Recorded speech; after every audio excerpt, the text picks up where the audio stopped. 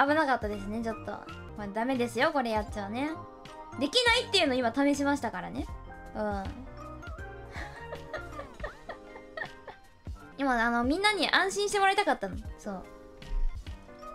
ちょっと一瞬いけそうになった時ちょっと焦ったけどね。あやばいやばい。